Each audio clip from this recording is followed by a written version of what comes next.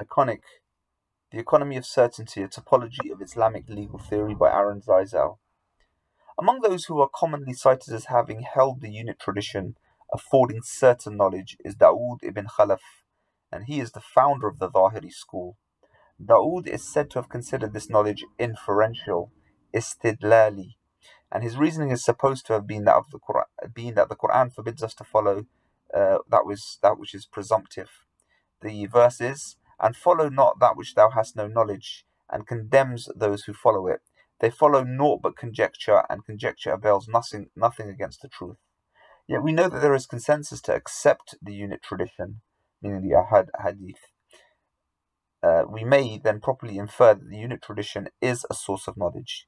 This, of course, is the same sort of argumentation we encountered in Jassas's defense of the mashhur tradition as a source of certainty.